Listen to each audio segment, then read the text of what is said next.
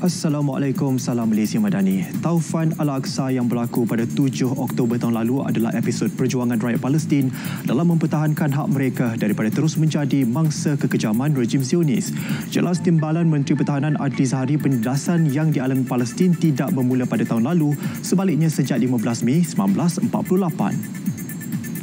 Tambah beliau An-Nakbah menjadi peristiwa hitam permulaan kepada penjajahan Israel terhadap tanah milik rakyat Palestin. Pada 7 Oktober 2023, Hamas isytihar serangan terbesar berdil 5,000 peluru berpandu ke atas Israel susulan pencerobohan rejim terbabit di Palestin. Ekoran itu Israel melancarkan perang habis-habisan terhadap penduduk di Palestin sehingga membunuh lebih 41,500 orang dan mencederakan lebih 96,000 yang lain. Perkembangan banjir di Johor, empat lagi pusat pemindahan sementara PPS dibuka di Keluang, Pontian dan Batu Pahat menjadikan 11 PPS beroperasi sehingga kini. Jumlah penduduk terjejas meningkat kepada 856 orang berbanding 618 orang pukul 8 pagi tadi. Sekretariat Jawatan Kuasa Pengurusan Bencana Daerah JPBD memaklumkan keluang kekal daerah paling ramai penduduk terjejas iaitu 674 orang ditempatkan di 6 PPS. Diikuti Pontian dengan 168 penduduk di 2 PPS dan Batu Pahat 14 penduduk di sebuah PPS. Tujuh sungai di Keluang dan Pontian merekodkan bacaan normal antara 0.37 meter hingga 32.51 meter.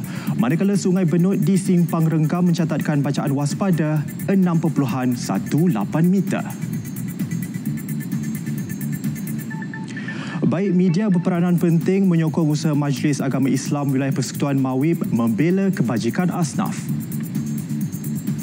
Menteri di Jabatan Perdana Menteri Hal Ehwal Agama Datuk Dr. Muhammad Naim Mokhtar berkata, bantuan yang disalur harus dimaklumkan kepada masyarakat supaya status pergerakan agihan wang zakat diketahui. Menurut beliau, asnaf juga perlu tahu kelayakan untuk memohon bantuan yang disediakan.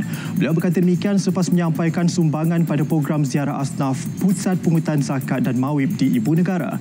Pada majlis itu, bantuan diberikan kepada tiga keluarga di projek perumahan rakyat beringin. Sumbangan berupa bantuan kewangan bulanan RM500 sebulan, perubatan am, keperluan asas dan bantuan persekolahan. Dua lelaki ditahan berhubung penjualan alas kaki menyerupai Kaabah dan masjid di Bazar di Pavali di Pasar Lebu Sisil. Pemangku Ketua Polis Pulau Pinang Datuk Muhammad Alwi Zain Abidin berkata, laporan dibuat oleh seorang lelaki tempatan semalam. Jelasnya pengadu mendakwa melihat beberapa alas kaki terbabit dijual kepada orang ramai.